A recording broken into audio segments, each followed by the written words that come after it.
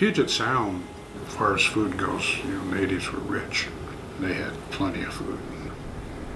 Our ancestors didn't ever starve, but they had to work together.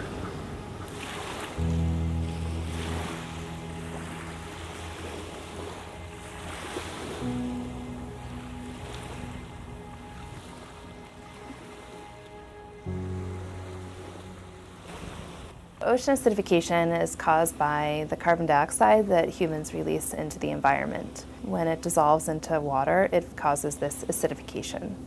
We know that about 30% of the carbon dioxide that humans have released since the start of the Industrial Revolution have been absorbed by the oceans.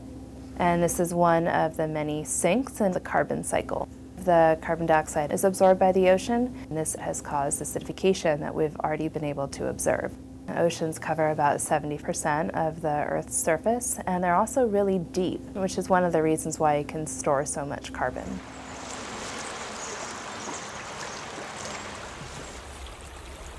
Salmon are an anadromous fish species, so they spend part of their life in freshwater and part of their life in uh, marine waters, so it gives them a very unique uh, physiology. In their freshwater phase, they can tolerate wide shifts in pH, um, whereas in the marine environment, most marine-only species can't tolerate that shift.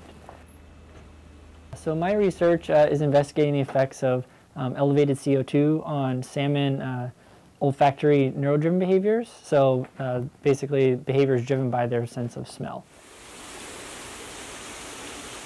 Our experiments uh, to date have shown that elevated CO2 does alter salmon uh, smell-driven behavior. So we put them in these um, two choice behavioral chambers. So they had two incoming streams of water coming at them. One stream of water would have an uh, introduced alarm odor. And so normally a fish would smell this odor that said, over here is dangerous, you don't want to go over here, um, and they would swim to the area that smelled safe. But in these elevated conditions, the fish stopped doing that behavior. They spent equal times in the, the dangerous part and the safe part. So as you can imagine in the wild, if a fish was out there and they smelled danger to save their life, they should swim away from a predator. They don't want to be eaten by a seal or larger fish. But following this elevated CO2, they might not have that strong response and they could be gobbled up. Salmon are the cornerstone species. When they disappear, then a lot of other species are going to disappear. But that's the cornerstone species for tribal people. And there's the spiritual value of salmon. Like a lot of other native food, they feed your spirit rather than just your physical needs, but they're spiritually important tribal people compared to what they were when the treaties were signed to what there is now. There have been a depletion now for a number of years to the point where some are facing extinction. People are concerned about the effects of ocean acidification on food webs and the ecosystems because food webs are often very delicate balances among species. So not all species in the food web need to be sensitive to ocean acidification for the food web to change. You could have a keystone species like Dungeness crabs, which is very important in the structure of the food web. Salmon rely a lot on Dungeness crab to grow.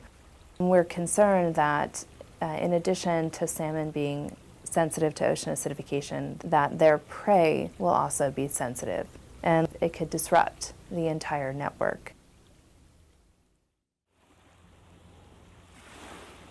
Pacific Northwesterners really care about a lot of the marine species that live in the wild. So things like salmon and orca and seals and lingcod and anemones. You know, there's a, a, real beauty in the natural world out here that I think many Pacific Northwest residents appreciate and are very important for their culture and their values.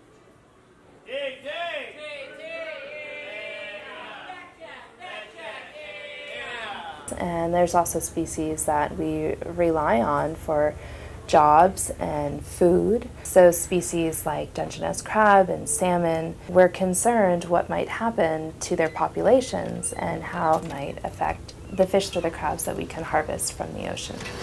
One, two.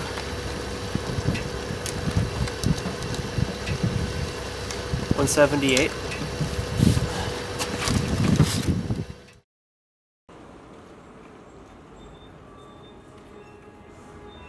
The more people move in, the harder it is for your fish to survive, mainly because of the infrastructure that everyone demands nowadays, as far as houses, and paved roads, and supermarkets.